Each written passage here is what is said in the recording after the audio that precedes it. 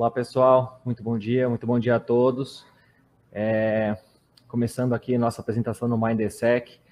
Meu nome é Leandro, acho que muitas das pessoas ainda, talvez a gente não se conheça. Eu sou sócio da KPMG Líder por Cybersecurity na América do Sul, privacidade. E, e hoje a gente traz aqui, nesse evento do MindSec, uma apresentação que é, a gente demorou bastante para idealizar globalmente é, e bastante para conseguir absorver todo o conteúdo, que a gente tem bastante pouco tempo para falar, inclusive para vocês aqui, de resiliência operacional, que agora é um problema de todos nós. Né? Antes a gente entendia que isso era uma questão só de ligada à indústria financeira, mas agora a gente está enfrentando aí uma questão que todas as indústrias altamente reguladas e todos os problemas que a gente tem vivido é, trazem esse contexto para nós no nosso dia a dia. Então a ideia aqui é, é nessa próxima hora trazer para vocês um pouco desse contexto, um pouco do que a gente tem feito aí para ajudar os nossos clientes e logicamente também é, um, pouco daquilo que a gente entende de uma situação tão delicada no mercado, que, que logicamente traz para a gente esse senso de evolução e, e de necessidade de melhorias. É, bom, falando um pouquinho da nossa agenda aqui dessa manhã de hoje, é, eu vou falar um pouco sobre resiliência operacional, o que é esse novo normal que a gente tem vivido, alguns componentes, as principais questões que a gente tem enfrentando aí é, no mercado, nos clientes e, e, e, principalmente esse cenário todo de ameaças que compõem a resiliência operacional. Vamos falar um pouquinho sobre dependências e riscos, talvez o foco, o foco da apresentação aqui vai ficar bastante nesse item número 3, a gente entender um pouquinho dessas dependências e a visibilidade de riscos que a gente pode trazer é, para as nossas empresas, e por fim eu deixo os meus contatos ali e, e abro aí para a gente fazer perguntas e conversar um pouquinho no nosso estande da KPMG. Falando de resiliência operacional, pessoal, qual, qual que é o grande motivador aqui da gente estar tá falando do tema? Né? A primeira coisa foi a questão da pandemia. Obviamente que ela traz para a gente é, é, um evento excepcional, um evento disruptivo, mas que fez muita gente imaginar que a resiliência das companhias deveria a, ah, caminhar num outro, numa outra direção, num outro patamar. E claro, muitas pessoas, muitas companhias foram a, a é, surpreendidas ali por aqueles eventos que a gente vivenciou no começo da pandemia, mas que, que foram eventos que depois trouxeram claramente aí, como a gente tem visto no cenário de ameaças, uma série de outras vulnerabilidades para as nossas companhias. É, obviamente que isso está associado também à, à falta de, de, de, previsibilidade que a gente tem dos eventos cibernéticos. Né? É, é talvez o risco quando a gente olha para a gestão de risco das nossas companhias, ou talvez o risco mais difícil de se, de se trabalhar, pela forma com que ele se materializa, pela forma com que as ameaças no dia a dia acabam é, é, surgindo e fazendo com que o nosso cenário das companhias se, se, seja alterado ou que mude na perspectiva de cada um dos nossos negócios, né? É, esse é um ponto que a gente tem falado muito com os nossos clientes também, a questão de qual é o nível de visibilidade que a gente tem, não só para a companhia como um todo, mas para cada um dos, dos, interlocutores de negócio que a gente tem nas diversas vertentes de negócio das nossas companhias.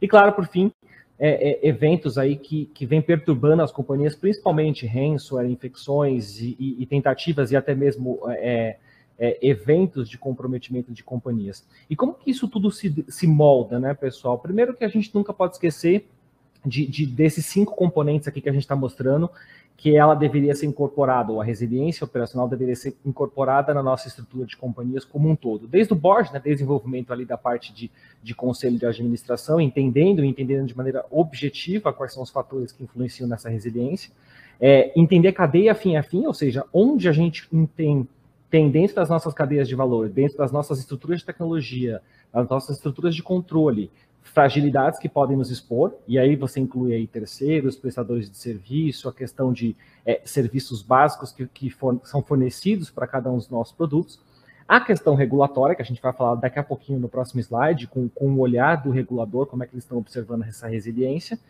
é, o impacto para os nossos clientes, e isso vai além, obviamente, do modelo normal que a gente trabalha, mas é, também atuando numa questão de resposta a crises, ao tempo de resposta, à comunicação que a gente faz e, claro, minimizando os danos para eles, porque isso tem uma associação direta aí com outras regulações, por exemplo, a LGPD. E, por fim, identificar e mapear aquilo que a gente entende como crítico, talvez seja o componente básico aqui, para a gente entender o interrelacionamento entre as nossas entre os nossos produtos, entre os nossos serviços, os nossos sistemas, para que a gente deixe a companhia um pouco mais confortável.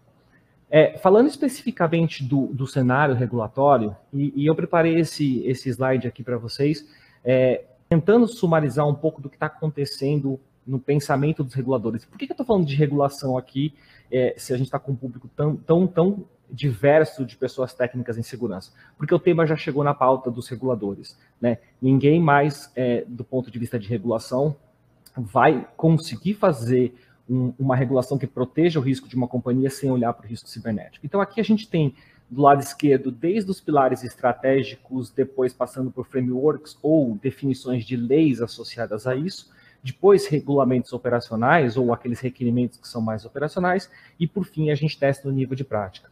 É, essa linha do tempo aqui, desde 2018, na verdade não é uma linha do tempo, mas é tudo que a gente conseguiu capturar desde 2018, e eu deixei o Brasil isolado no topo, o que a gente percebe é que essa preocupação acabou transcendendo aquilo que se imaginava como continuidade de negócios, o que, o que aponta aqui para ISO e, e, frameworks de é, é, BSI, etc., de continuidade dos negócios, não somente olhando para a questão de risco organizacional ou resiliência organizacional, que é o nosso end-to-end -end das companhias, mas pegando também os outros pilares de cyber e cyber resilience, né? Obviamente que cyber ele, ele, ele é um conceito mais antigo que cyber resilience, justamente o cyber resilience se conecta a essa parte de resiliência operacional para a gente sustentar as nossas operações funcionando. E depois, claro, um componente bastante importante que está na ótica do que vem sido orientado para todos nós é a questão de terceiros e fornecedores, um risco altamente impactante nas operações, sempre foi, desde a questão que a gente falava de, de é, prevenção à lavagem de dinheiro, AML, etc., mas agora, numa perspectiva cibernética, a gente sabe o quanto isso é relevante.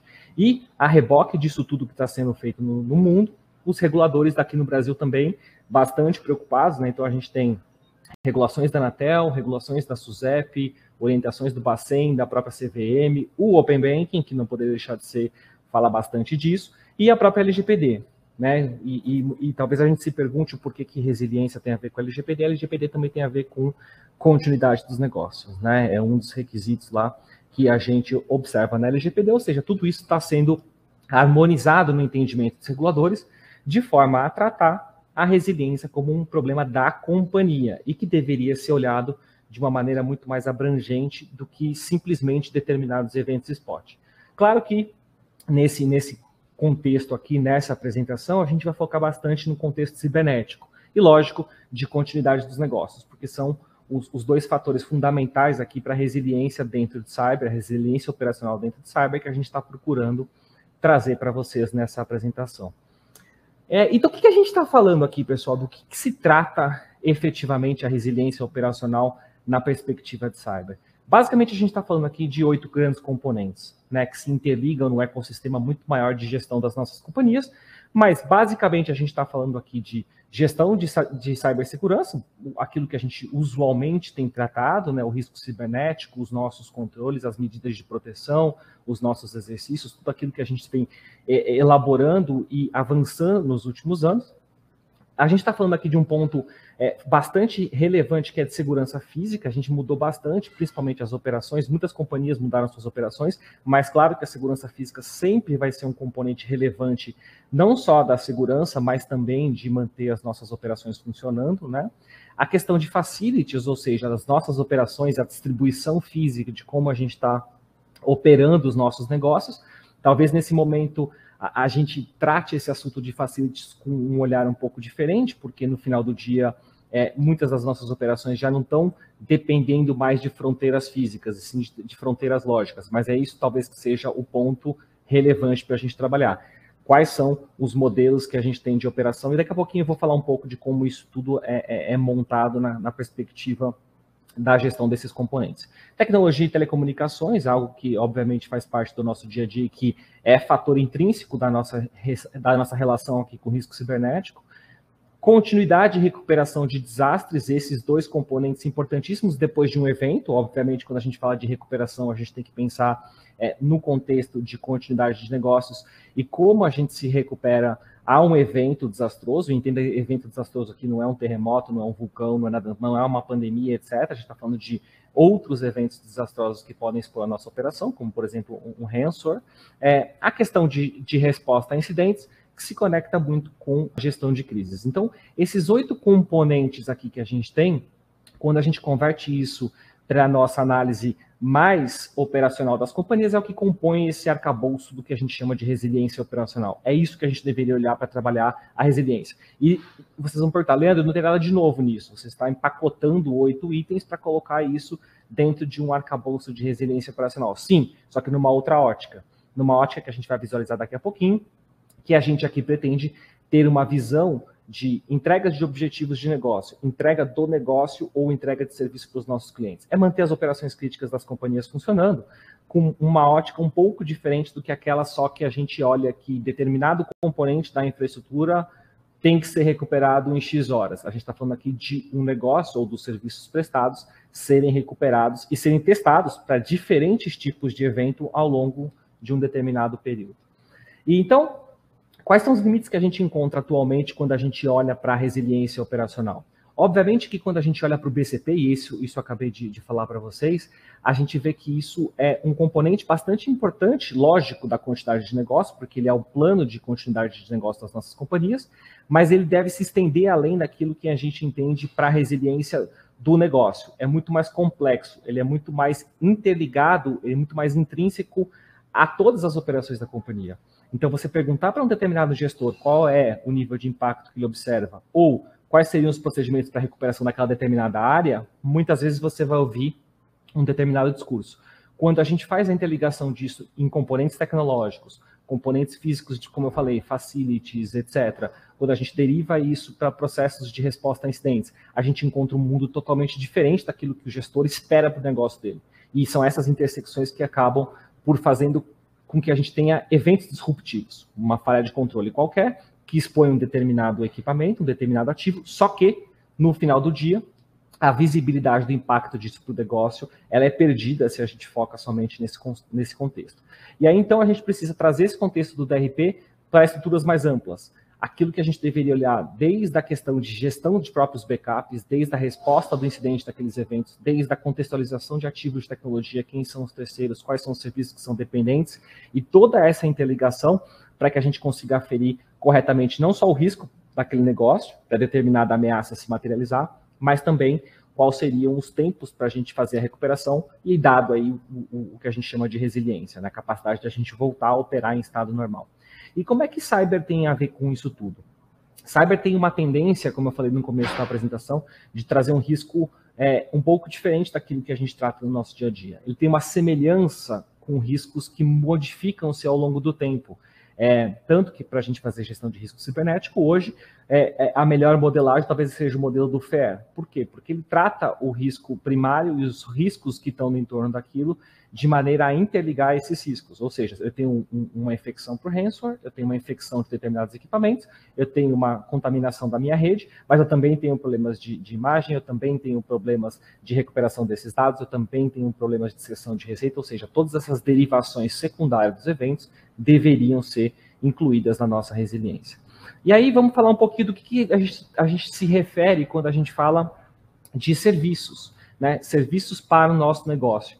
É, a primeira coisa que a gente olha aqui do lado esquerdo é, obviamente, a estratégia de resiliência que a empresa quer cumprir, ou que ela se pretende a cumprir com a estratégia de resiliência dela, que é muito mais uma orientação executiva.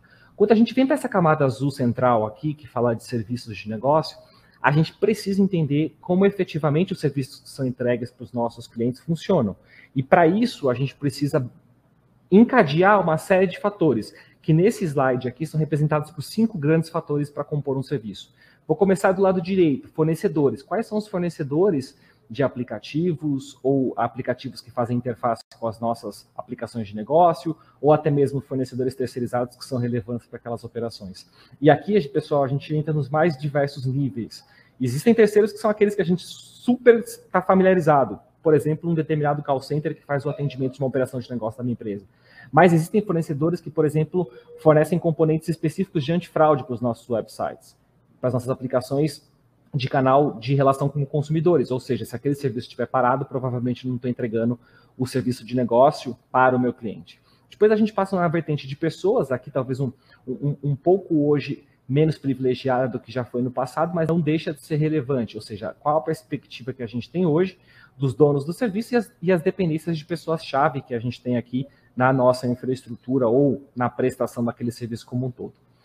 Vamos para o componente de tecnologia, que talvez seja hoje o, o mais afetado, ou é o mais afetado pela, pela, digitalização dos negócios.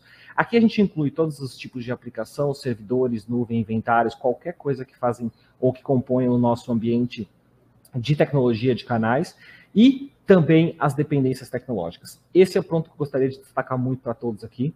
É a dependência tecnológica que a gente encontra hoje em mecanismos de autenticação, em usuários privilegiados ou não privilegiados, pega até mesmo bases de dados de ID de clientes ou customer IDs, né? É, se a gente tiver parada desses serviços, nenhum, nenhum cliente acessaria as nossas aplicações. A gente tem é, pools de servidores de DNS, ou seja, resolução de nomes de tudo aquilo que a gente precisa. A gente tem servidores de chave criptográficas. Todas essas interações, muitas das vezes, elas não são percebidas, ou, ou principalmente se a gente continua naquela diretriz de mapeamento de continuidade para o negócio, é, sem a perspectiva de como a, a, o serviço para o negócio funciona, a gente não consegue decompor todos esses, esses conjuntos de informação que estão aqui. E, além disso, a questão de backup, a questão de sincronismo e a questão de redundância, que são altamente relevantes para a gente saber quanto tempo a gente vai conseguir ou demora para recuperar um determinado serviço e se ele é recuperável, né? Se, por exemplo, o backup está protegido ou não, se o backup ele é, ele é feito através de pontes aí, é, determinados períodos, a gente copia os dados, depois bloqueia essas transações para que elas não, não sejam infectadas em caso de contaminação na própria, na própria rede que a gente tem. Bom, falando de propriedades, a gente citou um pouquinho no começo, né? Todos os escritórios, as nossas operações de negócio, as unidades, os call centers, tudo aquilo que, que leva a gente a, a poder se recuperar, então escritórios que são escritórios de backup de operação, é, é data centers secundários, etc. E por fim, um outro componente bastante relevante é a questão de dados. Né? Então, quais são as fontes primárias de dados que determinados serviços de negócio acessam, e, e entendam que o, eu não estou prevendo aqui todo o encadeamento até de dados secundários ou terciários, então entendam compromissos com reguladores, processos de remoção ou, ou, envio de dados de backup feitos de 15 em 15 dias, 30 em 30 dias, isso para a gente tem, logicamente, uma, uma, uma, pretensão de risco muito menor. Olhando na, nos elementos do lado direito, que compõe os outros elementos para a gente olhar os serviços. A parte de BIAs, de RPOs, RTOs, ou seja, quanto que o nosso negócio precisa de tempo para voltar sem afetar a operação dele, a questão das técnicas de recuperação, a questão das técnicas de backup e, claro, todas as medidas de segurança que a gente adota para controlar ameaças dentro do nosso ambiente tecnológico. Essa aqui é uma primeira derivação do que eu apresento para vocês. A intenção não é fazer com que o slide seja legível, e sim mostrar um pouco da complexidade que essa derivação traz para a gente para entender o impacto para o negócio. Primeira coisa que a gente tem que fazer quando a gente está falando de resiliência é a identificação de serviços relevantes. Esse é um fator importantíssimo e talvez o mais importante da resiliência operacional. Entender o que compõe daqueles serviços que eu citei as nossas operações de negócio. E aí as nossas operações de negócio, para cada um dos seus processos, vão ser derivadas em componentes de serviço. Então, aqui dentro dessa caixinha, desde ali do componente de dados que a gente falou, do componente de tecnologia, dos servidores de aplicação, dos servidores de infraestrutura que suportam aquela aplicação, quais são os bancos de dados, etc. Mas eu trago outros componentes aqui importantes que estão para a direita, justamente para ilustrar um pouquinho a parte de identidades, de backup, da parte de, de retenção de dados, a parte que a gente cita aqui de chaves criptográficas, terceiros e também as integrações. Por que, que eu estou citando isso?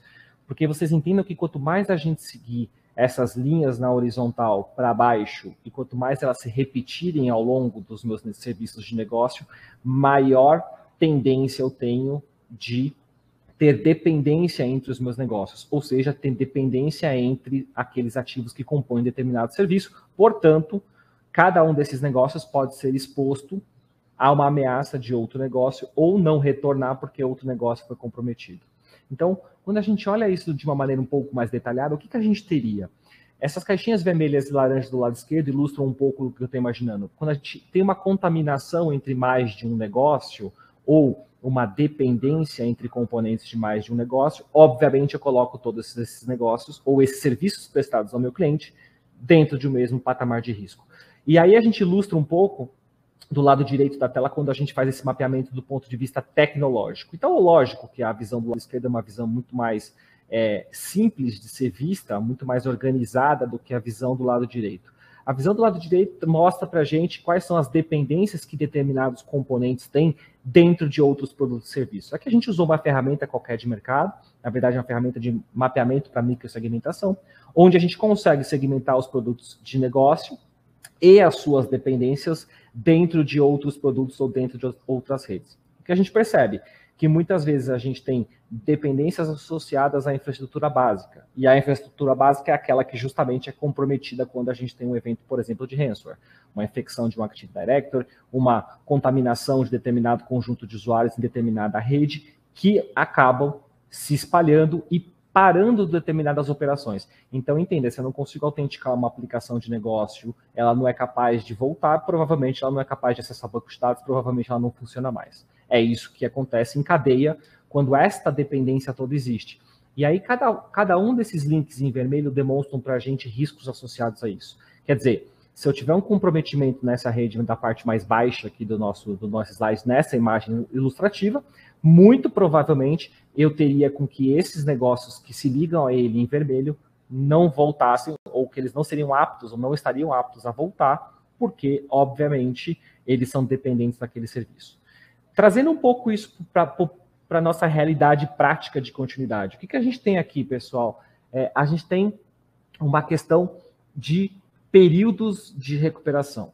Então, quando a gente tem um negócio aqui do lado esquerdo, e aí eu tenho a volta de cada parte do negócio, ou de cada serviço daquele negócio, entendo que isso pode ser um conjunto de um ou mais servidores, ou um ou mais ativos, conforme a gente faça a leitura, eu começo a criar spots de dependência, que são justamente essas caixinhas vermelhas que eu destaquei aqui também no nosso slide.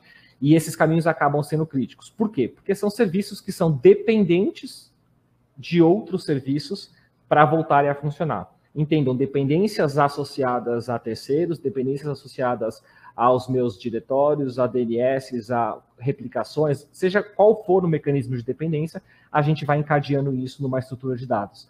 E isso faz com que a gente tenha uma visibilidade de qual componente de negócio precisa voltar antes, e o pior, o pior cenário é quando os elementos que são compartilhados não conseguem retornar. Qual é a medida, então, técnica que a gente adota aqui? Basicamente, fazer estresse e garantir que todas as dependências, independente da ameaça que a gente está olhando, estariam aptas a voltar. E eu não estou dizendo aqui que é simplesmente dizer, olha, essa máquina está invulnerável ao ransomware. Não, estou falando de uma cadeia inteira de controles e uma cadeia inteira de stress test que a gente deveria fazer, inclusive para saber quais são os tempos de recuperação desses serviços caso a gente precise. Para quê? Para a gente calcular aquele tempo ali em cima, aquela janela de recuperação de maneira apropriada e ter certeza de que ao longo da jornada de recuperação eu vá mitigando componentes que são mais relevantes ou mais compartilhados dentro das minhas infraestruturas. Para quê? Para estabelecer procedimentos eventualmente de contingência ou para eventualmente segmentar esses componentes que são derivados de outras operações e que podem contaminar um cenário de um negócio que tem um tempo de recuperação muito menor do que outros negócios. Esse é o objetivo final aqui. Este encadeamento, essa somatória de probabilidades, essa somatória de presença, ou seja, quanto ele é relevante para todo o meu negócio. No final, ele traz um impacto quantitativo muito maior para as minhas operações e garantir que estes elementos eles são testados em todos os aspectos de segurança. Uh, passando para o próximo slide, eu trago um pouco do efeito prático disso na, no, no, no, cyber. Né? É, esse framework é um framework muito legal, que chama Cyber Recovery Operational Framework, que a gente identificou é, é, no mercado, que auxilia muito o que a gente está falando aqui. Por quê? Logicamente que muito do que está aqui é, é para vocês ou para grande parte dos profissionais de segurança aqui vai dizer assim, pô, Leandro, não é, isso aqui não é útil para a gente. Na verdade, ele é útil na medida em que ele coloca desde o lado esquerdo aqui exatamente o contexto que a gente está colocando para vocês aqui esse mapeamento de dependências, esse mapeamento de serviços, entender o que a gente está falando de prioridades e aí sim implementar as medidas subsequentes, que são aqueles estresses que eu acabei de citar para vocês, tanto na perspectiva de continuidade quanto na perspectiva de proteção. Logicamente, aquilo que a gente consegue se antecipar protegendo, ou em caso de qualquer incidente, a gente identificar esse ataque ou no final da linha se recuperar dele o mais rápido possível. Então seria essa cadeia, mais ou menos que a gente é, parte aqui para tratar esse assunto, muito parecido com a forma com que o NIST visualiza também a, a proteção de controles cibernéticos. É, aqui, um, alguns outros efeitos práticos que a gente apresenta para vocês, né? Isso são, são, materiais que a gente tem produzido ao longo do tempo. Aqui do lado esquerdo, esse gráfico amarelo cheio de pontos é justamente a questão de dependência que a gente tem feito com os nossos clientes. É, é um trabalho bastante longo, é um trabalho bastante moroso, e para quem está, logicamente, ouvindo, parece muito simples de mostrar um PowerPoint e imaginar como é que isso seria feito na prática, mas a gente tem feito trabalhos aí com, com métodos mais ágeis, métodos de modelagem de dados é, eletronicamente, juntando tudo que a gente tem de data sources, por exemplo, é, ferramentas de segmentação, ferramentas de scanner, outras ferramentas de dependência, mapeamentos de DNS, etc., para compor essas aplicações, criar esse mapa de pré-definições daquilo que é dependente do que dentro da nossa estrutura, e, claro, indo para o negócio e traduzindo as maiores dependências para os maiores negócios, aqueles que têm maior prejuízo ou podem trazer menos é, ou mais perdas para a nossa companhia, já dentro da realidade desse trabalho que tem que ser feito. Depois a gente percorre aqui do lado direito um pouco de quais seriam os controles que melhor se adaptam ao nosso modelo, ou seja, a contribuição na taxa de redução desses riscos para o mapeamento como um todo.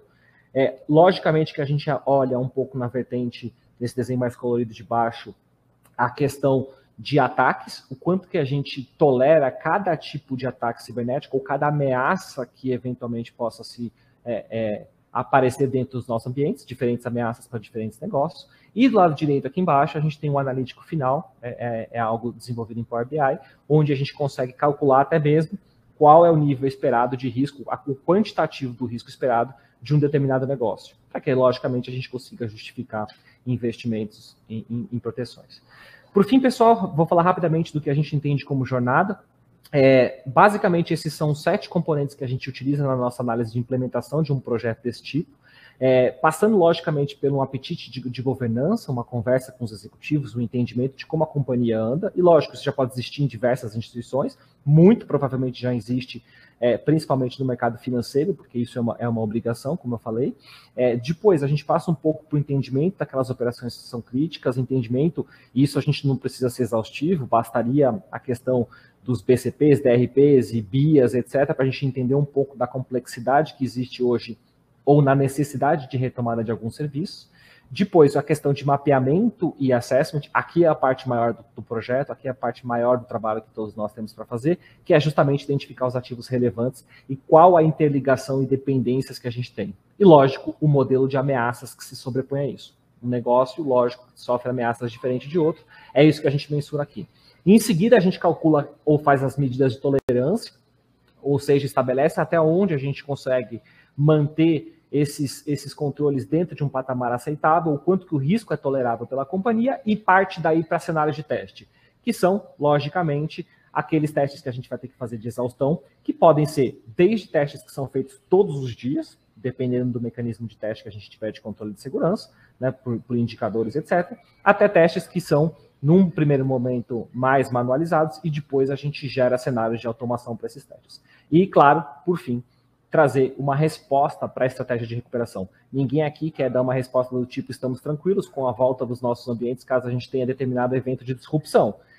Mas a gente precisa medir, aferir e ter certeza de que isso tem uma tendência a voltar ou que o nosso risco de acontecer determinado evento com os nossos ambientes ele tende a ser muito pequeno para aquilo que a gente é, pleiteia como negócio. E por fim, harmonização e visibilidade. Harmonizar toda essa, essa equação que a gente está falando aqui, todos esses componentes, todos esses ativos, todos esses riscos, e trazer isso com uma visibilidade onde a gente consiga trabalhar, como eu disse, em MVPs, com indicadores, com métricas e com, com muito provavelmente aqui com, com o apoio de sistemas, para que a gente tolere estes tipos de evento. Pessoal, é, extrapolei um pouquinho os meus 25, que eu tinha previsto de tempo aqui para falar com vocês. É, logo depois dessa palestra, a gente vai estar lá no, no stand da KPMG, vou estar aí disponível para responder dúvidas, trocar ideias com vocês. Fica aqui os meus contatos também, se vocês estiverem assistindo essa palestra posterior ao, ao evento. E um grande abraço a todos aí e desejo boa sorte à Flipside, a todas as, as empresas participando do evento. É, e a gente se vê na próxima. Obrigado, pessoal.